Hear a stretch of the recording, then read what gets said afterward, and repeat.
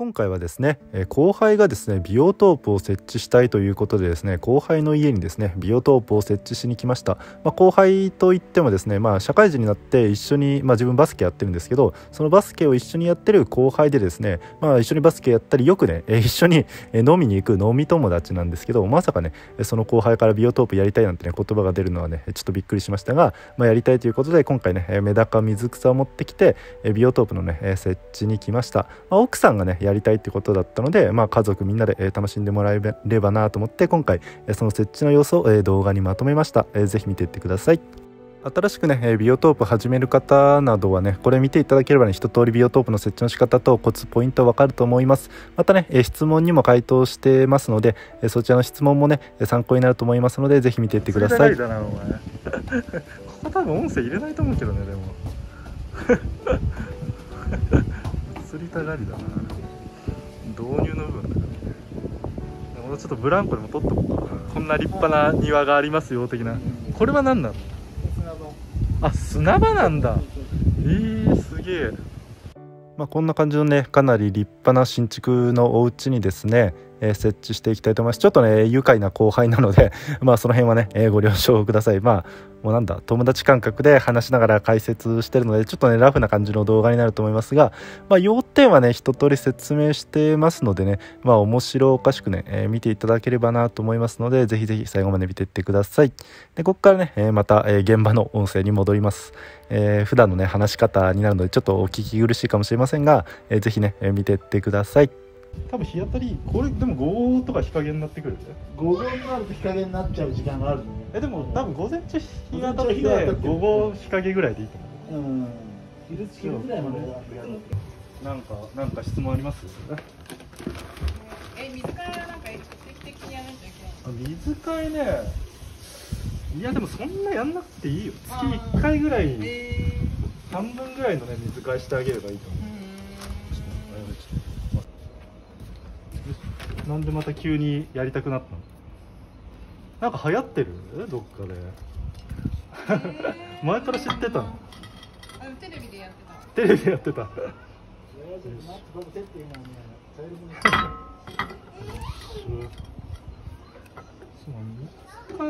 水替え微妙なとこだね。メダカが元気なくなってきたらか。まあ月1回半分ぐらい変えてあげればいいかもしれないけどね、でも全部変えちゃうとあんま良くないもんで、半分ぐらいにしといてあげた方がいいえ餌はあげなくていい？餌でも餌あげた方がいい。あそうなんだ え一日一回ぐらいあげればいいけどね。あげるんだ。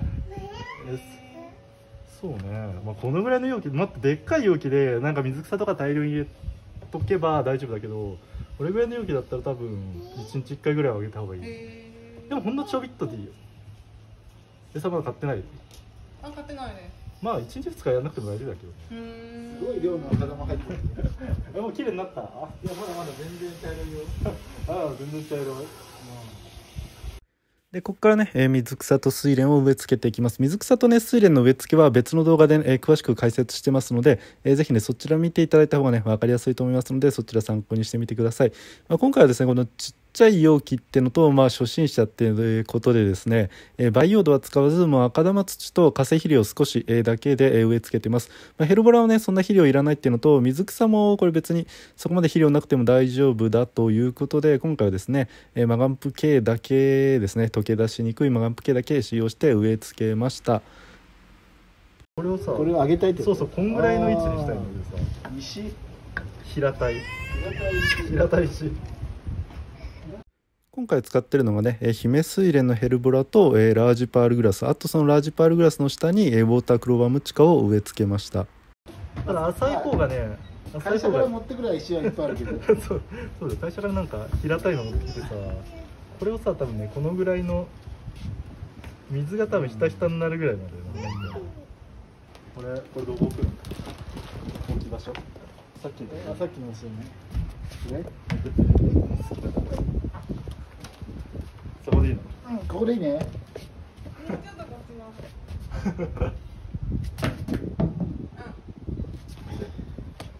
ここであすごいじゃんパパやってるなちゃんとちゃんとパパやってるな見たことない姿がもしかしてそれでちょっとずついやメダカはねまああれなんだよ。ね入れれないんだよ。ね直でどういうこカルカルキ入ってるのってさとあカルキだけ持ってきてればよかったけど忘れたなじゃあいつ入れるんだいや 1, 一日経ったら入れてあ、一日経ったら入れていいってそう。一日経ったら入れていい。一日経ったら入れて。それまではなんでバケツにちょっと避難させとく感じかな。あそう水替えしたやつね。あの水替えするとき水道水1日置いとくんだけど、まあ、別に日当たんなくてもいい。よ当たっててもいいけど1日とりあえず置いといた水で水替えしてあげる方がいい。で一日置いたらもうそこに入れちゃって。あそうそうそうそうそう。そうなので水替えする1日前に水汲んどいて水替えしてその1日汲んだのを入れる完成だ。カズさん、大粒はいらないですか？これいらんな。いあ、大粒いらない 何 YouTube っぽくやってるの？YouTube っぽくやってるよ全カットするかもしれない。今のノリ全カットかもしれないななのでこれちょっと平たい石みたいなの持ってきてか持ってきてさうんこれをこのそうそうそう。ここいつがギリギリ水面から出るぐらい出るか出ないかぐらいのこあのぐらいの位置。ーはいはいはい。このぐらいの位置でちょっとかさ増ししてあげるという。じゃあ今日また一方もなんか平たい平たい石みたいなの。こん。でなんかおしゃれにしたいだったらこうなんか砂利とか白いのとかや敷いちゃってもいいと思う。まあ、そうすると水替えがちょっと大変だけどね。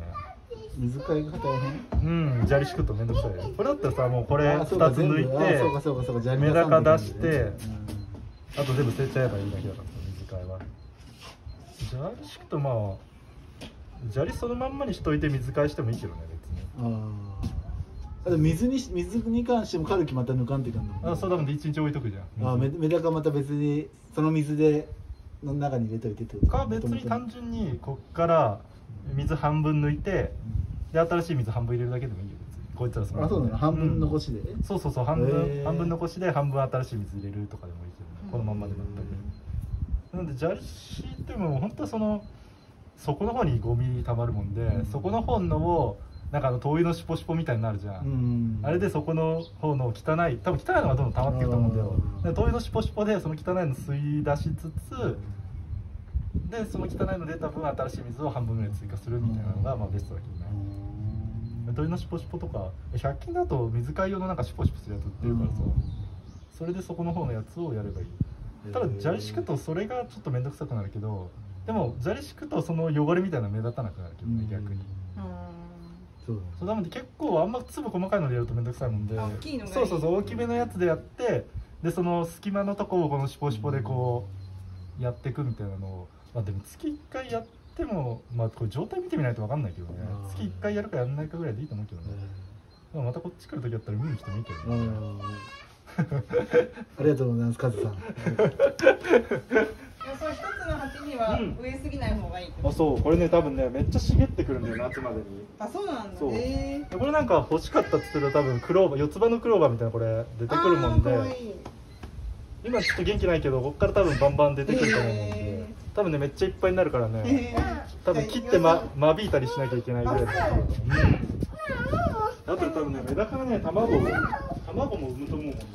え卵だってなんかこのこの苔みたいなのにこれこれ入れとくもんで、うんこれにね多分ね産みつけてくれるもんで。へえあそれは植えなくてもいいや。あこれね植えなくてもいい。うなんか隅っこにあんまねまあ苔だもんでね。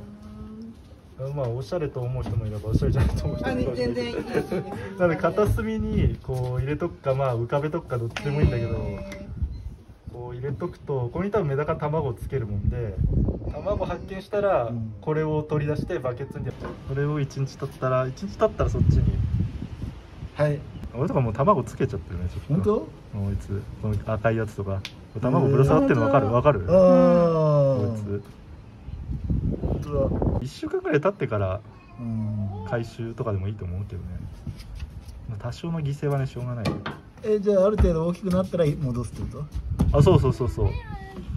ちっちゃく生まれたばっかのやつじゃまだ。生まれたばっかはだダメだねまだ。置いとかないと別で隔離しとかないと。で生まれたばっかのやつもさ餌をやんなきゃいけないんだけどさ。うん。その稚魚用の餌みたいなのもまたへ帰ーったらでいいけどうん。でこいつもなんか黒いのついてえ？それうんこじゃね多るの分 うんこするだってそりゃするよ、あけんはメダカ。そう赤ちゃん赤いのもメダカなの？俺全部メダカでだから。川にはいないよねこんなの。川にはいない。よこれ絶対川に逃がしちゃダメだよ、あそうだよね。そうだよ。そう生態系そうそうそうそうみたいなもんだからね。絶対逃がしちゃダメだよ。そうだもん卵回収したらまたその稚魚用の餌とかやってやんなきゃいけないけどね、うん。まあ、そしたらまた言って教えるから。わかりました。カズさんに頼みますんで 卵取ったらこっちのバケツに避難させときなよ、うん。さっきのあの苔みたいなのに多分つけると思うから。うん。であとはまあ葉っぱが成長してきて砂利とか敷いたら動画撮って送って。わかりました。そんな感じでこっちが。これなんて調整してさ、まあ、こんぐらいにしたとして、うん。で石がもし微妙だったら別に水ここぐらいまで入れちゃっても問題ないから水を増やせばいいからさ。水を増やす。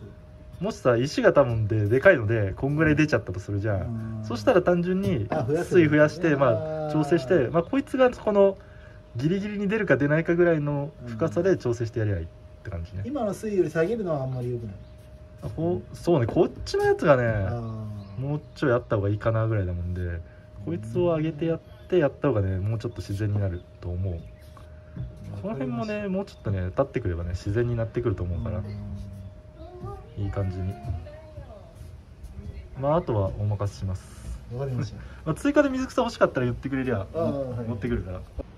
多分ねほんとね多分水面にこんくらいだったらね多分こんこんこんなもんでいい。一回一日一回こんぐらいやっときゃいいよ。えー、あ食べてる食べてる。食ってるけどね。そう食べてる食べて本当にあんまやっちゃダメだけど。るやりすぎは良くないやりすぎだと逆にあれだからほんのちょこんぐらいほんと一こんぐらい日こんだけ？うんこんだけでいいよ。うまあ別にホームセンターで餌売ってるしね。普通のメダカ用の餌でいいよ。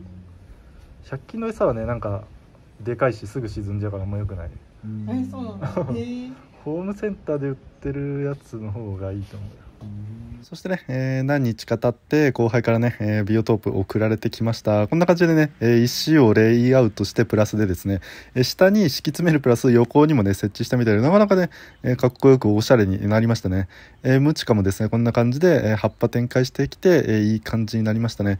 なかなかね岩がいい感じでいいレイアウトになってると思います。ということでですね今回こんな感じで後輩の家にですね、えービオトープ、えー設置してきました、まあ、なので重要な点といたしましては、まあ、まず1にですね日当たりですね。まあこれだと水量がね比較的少ないので、えー午前中日が当たって午後からね、えー日陰になるような、えー場所に設置してあげました。であとそうですねこのこれからの時期だとね水温が結構上がりますのでそういったね、えー場所ただ植物にはある程度ね光が必要なので午前中日当たりが良くて午後から陰ってくる場所置き場所がね結構重要になってくると思います。あとはまあ定期的な水替えですね。これもねやっぱね水量がちょっと少ないのでまあ1ヶ月に1回ぐらいしてあげるといいかなって感じなんですけどここはねやっぱね環境とかこれからの状況次第で結構変わってきますのでこれはですねちょっと一概には言えないですがまあある程度定期的な水替えあとは、えー餌を与えすぎない、えーこの辺がね、えーポイントかなと思いますので、えーぜひね、初心者の皆さん、参考になったかと思います。ますがどうでしょう？参考になりましたかね、えちょっとねこう自分と仲のいい後輩なんで話し方がねすごい雑で適当でくだらないね、えことばっかりね言っててね、えーちょっと申し訳なかったですけど、まあ、ある程度ね参考になったかなと思います、まあ、詳しくはですね、まあ、水蓮の植え替え方法も水草の育て方とかをねえ別の動画で詳しく解説してますので、えまあ皆さんのね、えビオトープの多少の参考になればなと思います。どうですかね？まあ、こんな感じの アットホームな感じで、えー作った様子、えーちょっとねいつもと違うテイストで、え動画アップしました、えーぜひね、コメント欄で皆さんの、感想を教えてください。本日も動画最後までご視聴いただき誠にありがとうございます。本当皆さんいつもコメントやグッドボタンご視聴ありがとうございます。またねヤフオクで水蓮や水生植物購入してくださった方もありがとうございます。またねインスタツイッター等でね、えー成長報告や購入報告開花報告をしてくれた方もねありがとうございます、えーぜひともね今後ともよろしくお願いします。願いします。ヤフオクで数のメダカスレンビオトープ、え検索してみてください。ではまた。